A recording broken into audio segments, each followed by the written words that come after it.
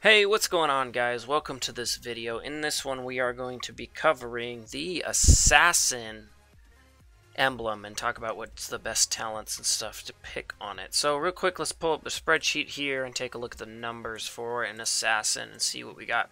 So what is your role as an Assassin, right? Well, you want to sneak around the battlefield and the map pretty quickly and kill out of position enemy heroes. And you want to do it fast, get in, get out. So what are the best stats for that are going to be physical attack, physical penetration, and crit, right? So much damage you can, biggest hits as you can, in and out, right? So obviously we're going to be talking about only the physical damage dealing assassins right here.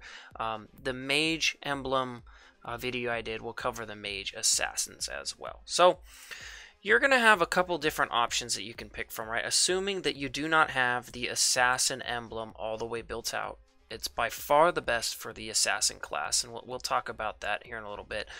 But you have a couple other options, right?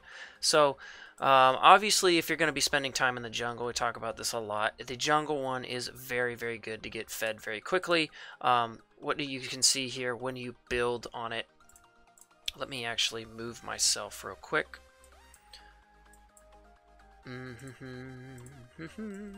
there we go. All right, sweet. Um, so if you... So let's talk about the jungle real quick. If you were to build on it as opposed to the assassin one, because you're spending time in the jungle, right? So you get 25 attack, 2.5% lifesteal. Lifesteal's not that good on assassins, because usually you're just using abilities, but it is something.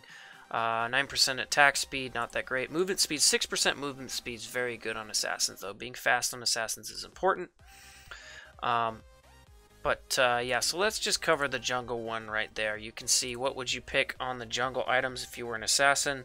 Uh, I would pick wild wild power to slow someone down and farm quicker in in the jungle. So that's what I would do. But let's talk about the jung or the assassin emblem right here in and of itself. So you're going to get a lot of attack, a lot of penetration with it, and crit, which is crazy, right? So what are you going to pick on the first thing? Um, bravery, let's talk about physical attack, cooldown reduction, or movement speed, right? So, honestly, I would probably pick movement speed. I'm thinking of someone like Lance, dude, that lets you get in and out of situations and survive and not die, right? Like, you could pick the bravery.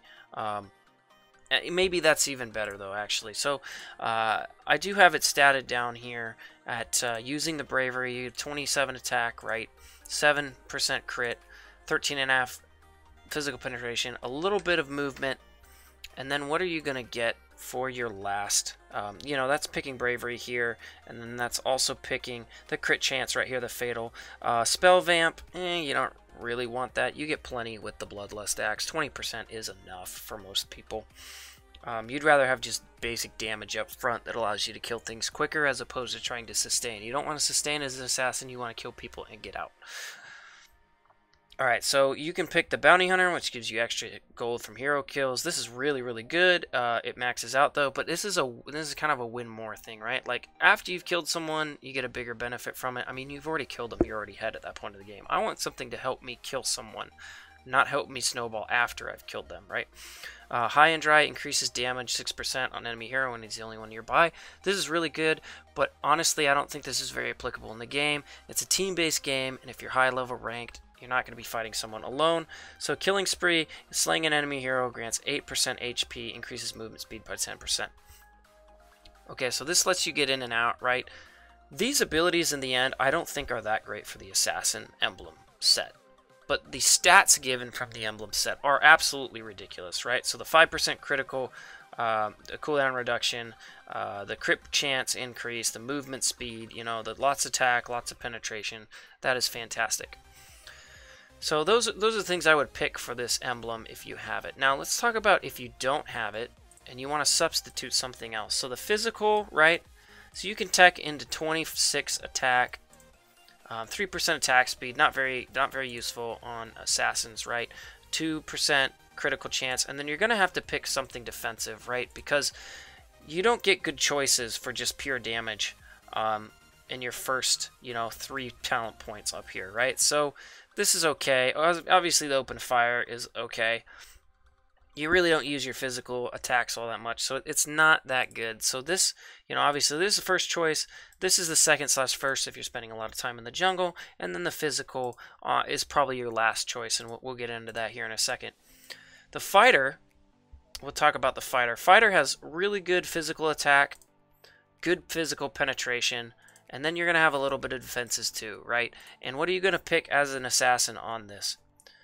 So Unbending Will increases um, eh, yeah, so you, you can pick Unbending Will, and the reason is because the other options are just not very good, right?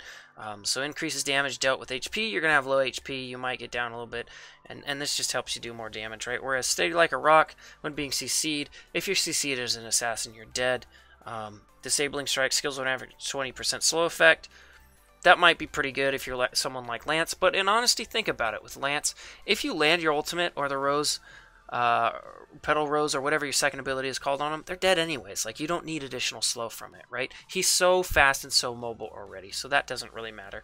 So you'd pick Unbending Will. So once again, for the fighter, your, your last talent points aren't really that great on him. So Assassin slash Jungle first, Fighter, um, actually, no, it's going to be marksman second, fighter third, and then physical last if you if you have the choice, right? So let's talk about the marksman build for a for an assassin, right? So the marksman talent page I've told you before just gives you ridiculous stats compared to everything else, right? So what are you going to get? You're going to get 29 physical attack, 5% lifesteal, which is like good, 7.5% attack speed, which is, I mean, that's just a lot. It's just a lot of stats, right? 5% crit chance, okay, a little bit less than the assassin, but you're getting a little bit more attack. 6% physical penetration, okay, you know, half as much, but still. But then you're also going to get 13.5% attack um, or uh, critical damage, right? Like, that's crazy. That's a ridiculous amount right? So you could even run cooldown reduction if you wanted to on it. Um, so I pick I pick attack, right? I don't think life steal is that important. You could pick crit chance, but I think that this bravery, this is just better than like 3% crit chance. But you could pick it, right? Um, Doom right here, this is critical damage, right? 4.5% scales up. Um, that's ridiculously good. Cooldown reduction could also be good. Swift, you don't really want attack speed on assassin, depending on what kind of assassin it is, but really you don't. Um, weapons master also, um, it's just it, these other two. Go watch the uh, the marksman video to my explanation of them. They're just they're just not applicable for assassins. But an extra eight percent damage, physical damage from gear. That's great, right? That's that's amazing. So once again, build the marksman one out one out all the way, and you can use this for the assassin one while you work on building it. The assassin one, right? Because the assassin doesn't really have that great of end talents on here, in my opinion.